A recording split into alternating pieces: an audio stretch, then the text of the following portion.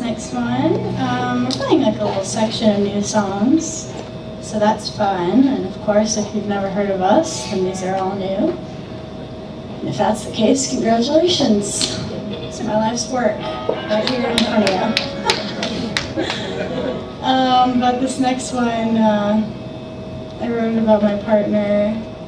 We started dating, and I wrote this song like just days in. And then I was like, oh shit. Scared. Loving the time of COVID, you know? Yeah. It's scary out there.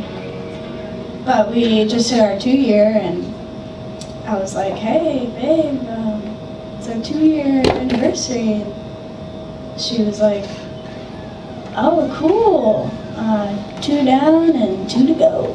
and, uh, and I was like, you know what? I'll take it. I'll take it. I'll take that. I have a, you know, at least a timeline in my head. Normally you don't. You don't have a timeline. You know have what's no going idea. on, yeah. I know what's going on. We've got 546 more days together, and that's chill. Oh, I'm just kidding. I just made that. Did you? No, I have a tally. I have a countdown on my phone. I hadn't touched my